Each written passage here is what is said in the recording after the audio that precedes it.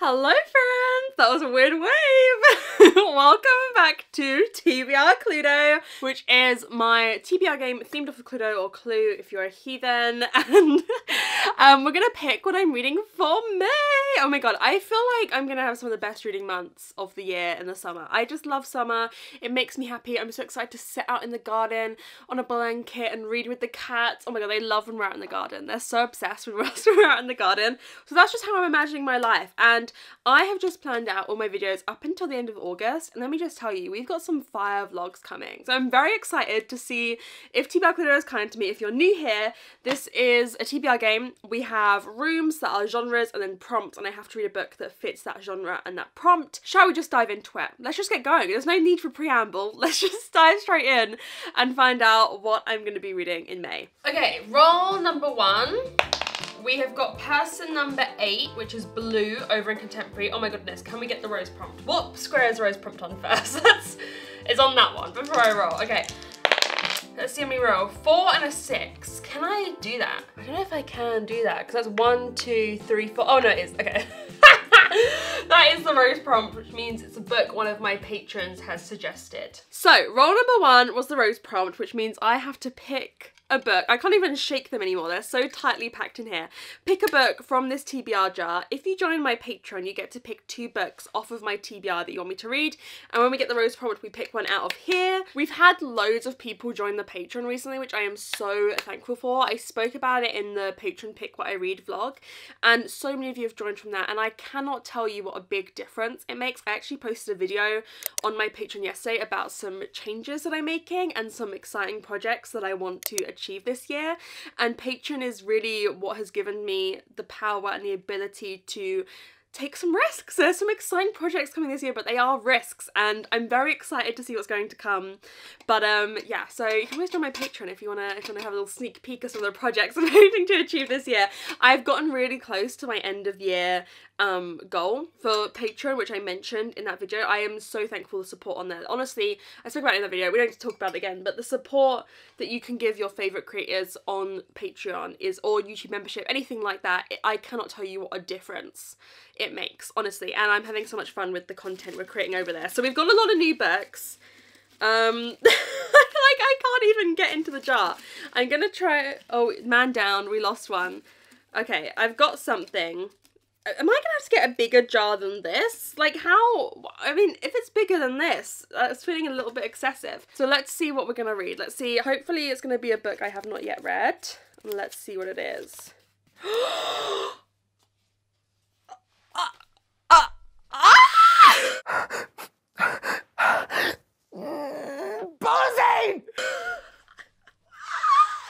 Okay. Uh, holy shit. Sorry, I don't want to curse, but that is Firekeeper's Daughter by Angeline Boulley. Oh my god, let's find out who picked that first. I reckon there's going to be quite a few of them. Eight people who have picked it by the looks of it. So Ava picked it, Amy picked it, Jenny picked it, Alice picked it. Who's that? Nicole picked it. I'm struggling to align them in my. Alison picked it, and Abby picked it. Wow. Oh my goodness. I can't believe I've finally been forced into reading this. This is like a five star prediction. I think it is, I have forgotten what's in that most recent five star prediction video because I try and forget so that then I can react to them. But I think I put this in there. We're following a young girl who is half indigenous, half not. And so she's always felt like an outsider. Um, and I think she doesn't live on the indigenous reservation. She kind of lives in her hometown nearby. But she witnesses a shocking murder and reluctantly agrees to be part of a covert FBI operation into a series of drug-related deaths. I have heard such wonderful things about this. Oh my gosh, guys, thank you for picking that. This is such a good pick. I think I'm going to love this. I think it's going to be very emotionally heavy hitting. I don't know if I'm quite prepared for it, but Angeline Boulley is just one of those authors I feel like I'm drawn to. I really want to read Warrior Girl Unearthed as well. And I feel like there's just authors that you can tell that you're going to vibe with. I've heard wonderful things about the writing in this. Oh my goodness. oh my god, Jesus Christ. Check out They've the blessed me. what a wonderful rose prompt pick because this is the kind of book that I have put off for years and years and years and so this is kind of what the rose prompt is made for like making me read books that like I should have got to some time ago. So thank you to everyone who picked that. I am so, I am so happy. Wow. I'm going to have to read this soon. What a great choice. What a wonderful choice. What a great start to our May TBR. Okay, roll number two. Person number seven, which is Brown, up here in Mystery. Let's see how many we roll. Oh my gosh. We've got four and a one. Let's go one, two, three, four.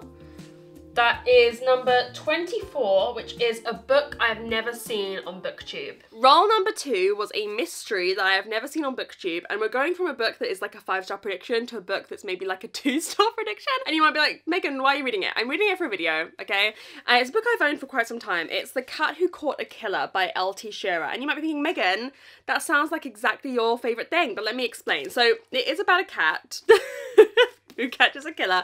So it is like a cozy mystery, but a cat, I think, plays an important role. There's like a detective and the cat is helping her. So based on that, look at the paw prints. Oh my god, I'm obsessed. Based on that, I should love this, right? I should love this. This is like the perfect book for me. A cat who catches a killer, excuse me. Absolutely. Do you know what I mean? Like this should be my favorite thing. However, I've heard mixed things about this author's political opinions and how much they bleed into this book, and that's what makes me nervous. I think, I don't know, let me not libel, but I can't remember exactly, but let's just say, like, maybe a bit anti vax, maybe a bit, like, Trumpy, I don't know. I've heard not the greatest things about the political opinions in this book, so that's why I say I might not love it, because that's gonna piss me off. I'm not gonna lie to you. I'm not going to enjoy that aspect of the book, but this sounds like the perfect crime cozy for me in terms of the synopsis. So we shall see how this goes. I'm reading it for a video towards the end of the month where I have to read it. It wasn't a choice in the matter, I have to read it. So we shall see. We shall see how it goes. I'm excited about the premise, not so excited about some of the things I've heard in reviews, but let's just read it and see what we think. Roll number three. Person number six over in Thriller. Let's see we roll. Oh my gosh, we've got a four and a five. Let's go. What can I get to in that? One, two, three, four, five. That is number 27, which is a book that has a, the, and, or of in the title. Roll number three was a thriller that has a, the, and, or of in the title. I always have to check on it, what words that is.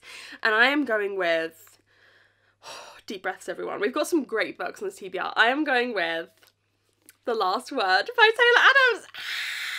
oh my god! Okay, it's happening.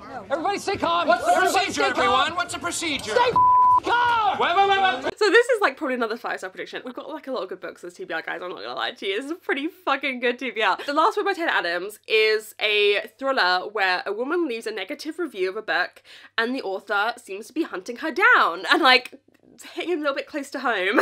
what author? No, I was gonna say what author do I think would be most likely to do that for me to a negative for a negative review, but let me not go.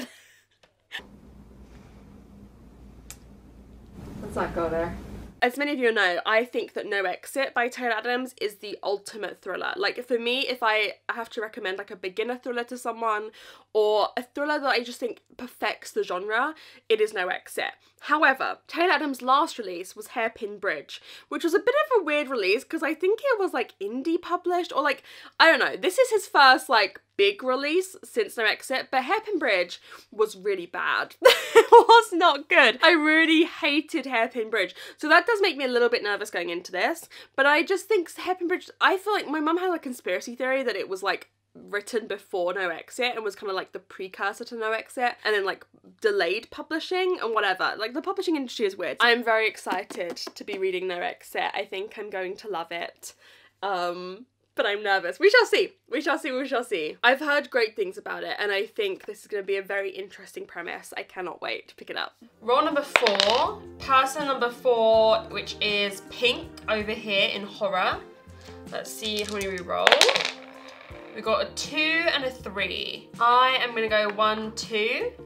That is number 10, which is a book not set in the UK. Interesting. Roll number three was a horror that is not set in the UK, and this is the one I gave to my patrons to vote on. They vote on one round of TBR every month, and that ends up being our book club pick. So they're not just voting for me, they're voting for what they want to read. And let me tell you the choices I gave them. One sec. So, the choices I gave them on this poll were Into the Drowning Deep by Mira Grant, aka Seanan McGuire, which is set, I believe, in the Marianas Trench, Silver Nitrate by Silvia Moreno-Garcia, which is set in Mexico, The Book of the Most Precious Substance by Sara Gran, which is set in the US, France, and Germany, and White Horse by Erika T. Wurth, which follows an Indigenous main character in the US, and the winner, by quite a strong margin, was Into the Drowning Deep by Mira Grant. I think this is going to be a great book club book. I have heard such good things about this. So this is about seven years ago. A ship set off on a voyage to the Marianas Trench to film a mockumentary bringing to life ancient sea creatures of legend. It was lost at sea. Everyone died. Everyone on this boat died. And now a new crew has been assembled to investigate and they'll discover whatever went down there is definitely no joke. I'm very much excited for this because it's Seanan McGuire, baby. It's Seanan McGuire, one of my favourite authors, and I've never read anything by her Mira Grant pen name, which is like her horror pen name. And I'm very intrigued to see how she writes horror. Obviously, I've only really read her fantasy. I've only really read Wayward Children and Middlegame from her. So I'm excited to see this different take. I hate horror set underwater. That's what we've been waiting for! It's what we wanted all along! I'm quaking in my boots. I'm quaking in my boots. I am so excited. I think it's also going to be a really good book club pick. I feel like we're going to have some good discussions on this. But I... Oh my god, it like it's making me feel like claustrophobic just the thought of this already. I think it's going to be such a good book. I'm really, really excited. I can't believe it's taken me this long to get to this. I've owned this for quite a while, but I'm excited to get into some horror. I'm excited to read this in my book club and I'm excited to read Mira Grant, baby. I'm excited to read some Seanan McGuire that I've never, like I've never seen her before. So if you'd like to read this with us, we have a discussion section on the Discord, then we do a discussion live show, and then I do an exclusive reading vlog for this as well. So you won't see this on any vlog on my channel. You can join the Patreon and join the wonderful community that's there. It truly is the best place on the internet. I am not biased. But I did tell a bit of a lie there. Anyways, super excited to read this. I think this was a wonderful pick by the voters. Sometimes I don't agree with their voting and I'm like, why the fuck did you pick that one? But this time I think this was the best pick. Roll number five, person number three, which is red up here in historical. Let's see what we roll. Oh my goodness. I don't know, where was that? That was that, okay. We've got a three and a five. Let's go, one, two, three, four, five. That is number five, which is, oh, a 2024 release. Next was a historical that is a 2024 release. And guys, I told you the next two books impeccable. Absolutely in fucking impeccable.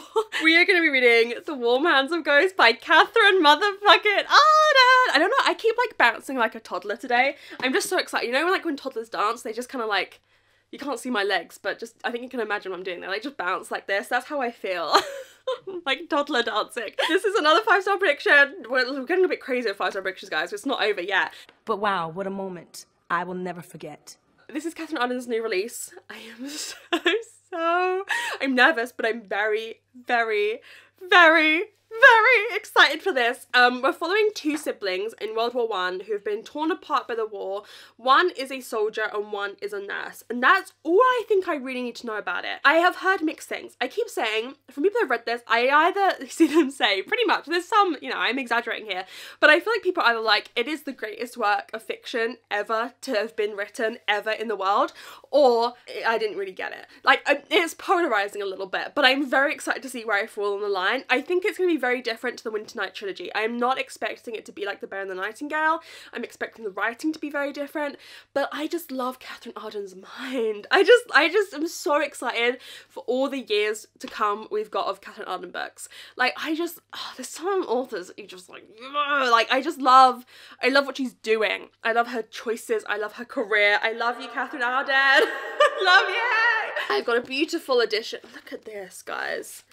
Oh, what the fuck? Oh my god.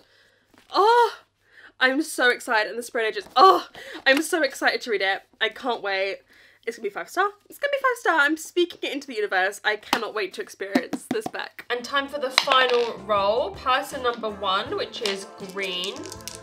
Over in fantasy. Let's see how many we roll. We've got a four and a three. I am going to go one, two, three. That is number 20. What is that? That is, oh, a five star prediction. Okay, fun. And then the final roll was a fantasy that is a five star prediction. I told you guys we weren't done with five star predictions yet. This is crazy. Obviously, I knew there were two on here, but I wasn't expecting Firekeep as well. I might read that whole the whole books that video super quick. We may end up like my first five star predictions took me like two years to read. We may end up reading these in like three months. But the book I have chosen is Bookshops and Bone Dust by Travis Baldree. Am I shitting bricks through this? Yes. It's got to get a sip of water.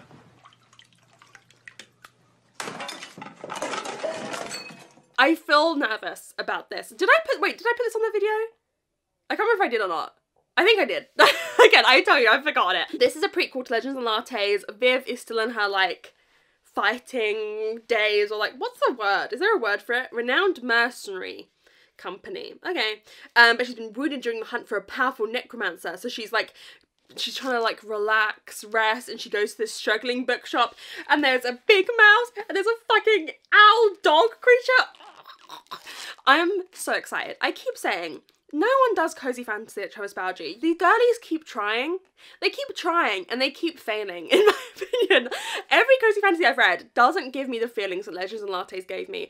I could have read 2,000 pages of Legends and Lattes and them just making coffees and being deadly serious. Like, that is the safest I've ever felt in my entire life. So, I'm very excited. I'm nervous, but I'm feeling good about uh, Bookshops and Bone Dust. I'm feeling good about it. I'm very excited and I'm actually going to be reading this next. I'm going to be reading this today, probably. So I'm really, really excited to dive into it and hopefully, you know, it lives up to we're hoping it will achieve. So there we have it, friends. I'm not holding up very well.